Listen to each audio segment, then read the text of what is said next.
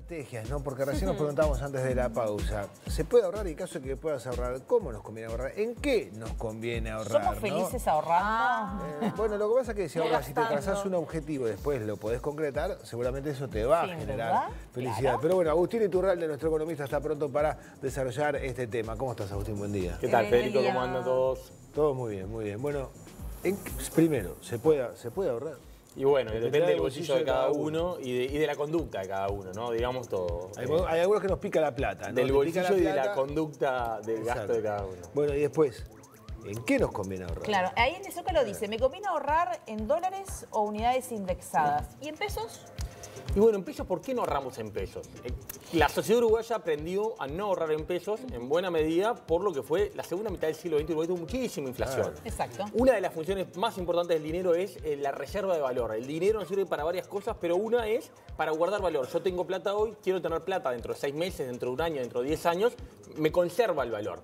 El peso argentino claramente no está cumpliendo esta función. Claramente hoy en día el peso argentino quema Pero si, si uno ve ahora el valor del plazo fijo, por ejemplo, en pesos, te conviene... Bueno, claro, un plazo fijo sí, un plazo Exacto. fijo, un plazo fijo te paga un interés que, que te puede preservar. Sí, pero bueno, hasta, hasta las letras, capaz. o hasta sea, las letras, hay instrumentos que nos pueden pagar Por intereses, eso. pero la idea de hoy es discutir más allá, después Sí. en alguna otra instancia discutir a ver si queremos ganar interés, cómo podemos ganar interés. Pero hoy, ¿qué, qué- qué moneda, qué unidad Claro. nos reserva valor más allá del interés Ah, que podamos perfecto. conseguir con cada una? Bien. Y, y bueno, el peso, hemos tenido ese aprendizaje a vía de golpes de, de los saltos inflacionarios, de la crisis del 82, del 2002.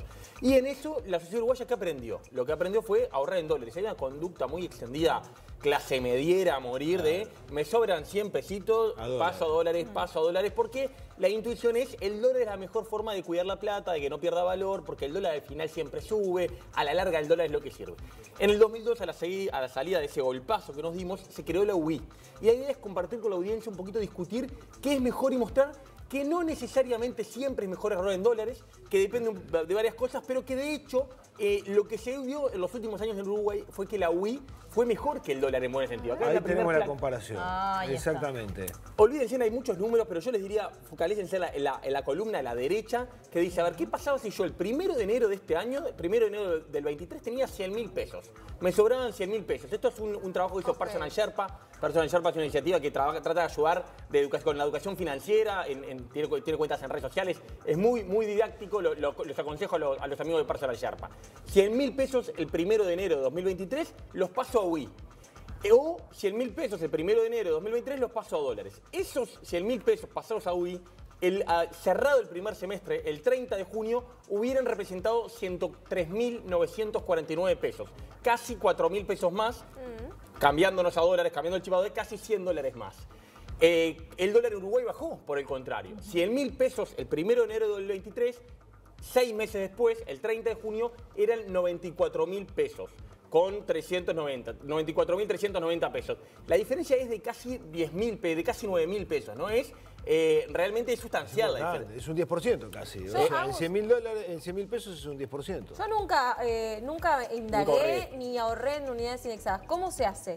Porque dólar es muy fácil, va a cambiar. lo que Cambio. sea. Unidades indexadas es que hay que abrir una cuenta. No existe el Sí. billete de unidad indexada. Claro, hay que abrir una cuenta en algún banco, pero cualquier plazo de banco de plaza. Hola, quiero abrir una cuenta de unidades indexadas y me lo Así pasan. de simple y, y te, y te poner, si, si esta plata no la vas a tocar, la pones en un plazo fijo y además de eso te da un interés, interés. chiquito, Claro. pero te da un interés adicional. Ahora. ¿Cuál es la idea de la unidad indexada? Ahora vamos a algo más de largo plazo. Es la unidad indexada reserva el valor, la unidad indexada sube con la inflación. No es que yo soy más rico, no era que el 30 de junio yo era más rico que el Claro, primero de Pero enero. si hay deflación, baja. Yo- Si la deflación baja.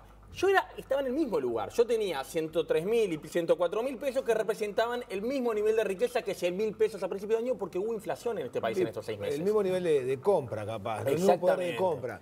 Eh, ahora, pasó algo a partir de 2000, 2002, y es que mucha gente le perdió la confianza al sistema financiero, ¿no? O sea, yo digo, ahorrar y que haya un banco de por medio me genera ciertos reparos, puede decir la gente. Por eso capaz que sigue acudiendo al dólar, que lo fondea donde puede. Eso es verdad, es verdad. Lo que muestra igual, Fede, la- la- la- las estadísticas es que la gente ahorra en dólares en los bancos. También, que la gente, lo que tenemos es una, una plaza financiera uruguaya donde los uruguayos ponen en verde las ¿Y cosas. por qué en dólares y no en euros, por ejemplo? Sí, eh? bueno. Porque es una costumbre muy uruguaya apuntar al dólar y no tanto al euro. Podría ser también, hay, hay- hay gente que ha apostado otra, el dólar sigue siendo la moneda dominante en el mundo, ¿no? Y lo va a ser, había alguna especulación de que el yuan, la moneda china, va a seguirlo haciendo, alguien podría decir, bueno, esto es en el corto plazo, en seis meses, y ahí trajimos otra plaquita también de los amigos personal Sherpa que lo que muestra es en el largo plazo, porque pueden decir, no, está, pero está bien, esto fue esos- estos seis meses, pero a la larga el dólar gana, siempre gana el dólar a la larga. Bueno, lo que muestra ¿En esto, qué periodo es? esto es desde que se creó el UI, desde que salimos de la crisis del 2002 y se creó el UI. Uh, Muy mirá. sintéticamente, ahí sí hubo muchísima Mucho inflación, tiempo, claro. son 21 años de inflación, ¿no? Hay muchísima inflación.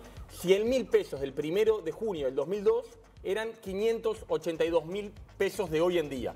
O con UI tendríamos 582 mil 300 pesos con UI. En cambio, si hubiéramos pasado dólares los 100 mil pesos del, del primero de junio del 2002, hoy tendríamos esos dólares Claro. equivaldrían hoy en día a 226 mil pesos. ¿A cuánto estaba el dólar en el 2002? En la, ¿En lo- la mitad? Sí, en bastante menos. Sí. Claramente, en los dos casos tengo muchísimos más pesos, ¿no? En uno tengo 500 mil contra 100 mil, en otro tengo 226 mil contra 100 mil, pero de vuelta. Los 582 son el mismo poder de compra, como decía Claro. Fede. Los 200, los 200, el dólar no le ganó a la UI en este momento. Es- esa sabiduría popular es un poquito lo que eh, queremos aprovechar a la gente de Personal. Esa sabiduría popular del dólar siempre gana. Bueno, está la UI que es mucho menos popular, mucho menos conocida, pero que es una buena forma de ahorrar, sobre todo si uno quiere ahorrar para comprarse una casa, Bueno. uno quiere ahorrar para consumir en Uruguay. A mí me descuentan mi préstamo en UI. ¿Te descuentan en UI? Eh, que es- exactamente, pero cuando tenés otro tipo de objetivos, como por ejemplo un viajecito, un auto, tendés a ahorrar en dólares porque lo vas a pagar en dólares por lo general. También depende de los objetivos. El consejo Ah. que vas a dar depende del objetivo que tengas. Totalmente, totalmente. Depende de- del objetivo que obtengas y, y lo que pone Fede es un buen ejemplo, ¿no? El auto y el viaje claramente es en dólares. Lo que hacemos en Uruguay, las casas se tasan en dólares, pero en realidad dependen más del, del- de, de la SUI. Eh, el UI te mantiene el poder de compra. El dólar uno está especulando. El dólar puede, en algún periodo puede pasar lo inverso. Y hay algún periodo que pasa lo inverso, que, el dólar le gana a la UI. El dólar uno especula, a veces puede ganar, a veces perder. La UI lo que es es, y, yo sé que no ha entrado la clase media uruguaya, pero los, economistas somos los que estamos asociados con esto, pero de verdad es, bueno, yo me aseguro de que dentro de 10 años yo voy a tener el mismo poder de compra que tengo ahora. Después, otro, otro, otro, otro día que vengamos, podemos discutir, bueno, ¿cómo puedo sacar algún interés? Si yo tengo algo ahorrado, ¿qué, ¿cuáles pueden ser buenos in- instrumentos para la clase media, para gente sin grandes sofisticaciones, para sacar algún interés? Pero bueno, dólar contra UI, el dólar está bien, ha sido un refugio cuando no existía la UI, el dólar fue la gran forma que la clase media se reservó, preservó de los desastres que ocurrieron en el 2002, en el 82, pero bueno, hay otras cosas y eh, eh, es, es algo que tendría que aparecer un poquito más en el mapa mental de, de- de todos. Después por qué podemos no hablar de. ¿Y por qué no aparece? Yo creo que hay... Que hay, hay- ¿Desconocimiento por Sí, parte yo de creo la que falta gente? información y en todo caso educación financiera también. Sí. ¿eh? Yo creo que va por ahí y, y bueno, y, y- el dólar sigue siendo, ¿vieron ahora cómo se puso se- sexy es la dolarización en Argentina y Sí. cómo se... Bueno, Porque el dólar sigue siendo la moneda del poder, del consumo, de las grandes... Uno no va a- a- al shopping y ve cosas en, en, en UI, no, no sabemos ni lo que es la Bueno, UI. pero por eso te iba a decir, se habla de que Argentina se dolariza, Milei, bueno, Milei que... Y acá hay muchas cosas que las pagamos en dólares, que las vemos en dólares. Un teléfono celular, Sí. por lo general el precio está en dólares, alquileres están en dólares, Sí. bueno, ni que hablar autos, viajes, en fin. Tenemos como dos cabezas ahí. Y eso, Sí. nosotros estamos muy acostumbrados. No es común, uno va a Chile y a Perú y, no, y a México. No funciona así. No. Las casas, los autos están en pesos, Pesos, eh, de, de la moneda local. Y eso es bueno por esto. Como tuvimos tanto problema con el peso durante la segunda mitad del siglo XX, el dólar es una moneda bimonetaria que se llama. Tenemos dos monedas. Las cosas de alto valor las pensamos en dólares. Si yo te digo, Fede, ¿cuánto vale tu apartamento en pesos? No tenés ni idea. Eh, y el auto en pesos no tenemos ni idea. Y las cosas, el supermercado, los alquileres más baratos, sí, los manejamos en pesos. Bueno, esa es la, la dualidad de la economía uruguaya y que tenemos que aprender a, a pensar en esas dos claves. La idea era introducir el bichito de la UI, que es un instrumento interesante. Está muy bueno. Muchas gracias, Gracias, Agustín, Agustín. como siempre, porque está buenísimo explicar en un lenguaje llano y con ejemplos como veíamos Sí. este tipo de comportamiento y tener estos tips para poder modificar nuestros hábitos de ahorro. Muchas gracias. ¿Somos felices los uruguayos? ¿Qué pensás? Y bueno, yo creo que sí. La- ¿Sí? la- la- las encuestas en, en- a nivel América Latina nos van bastante mal en ese sentido, ¿viste? Sí, Eh, sí. Creo que el clima, ¿viste? Tan templado contra nuestros vecinos más, más caribeños no- nos pone... Le preguntamos a la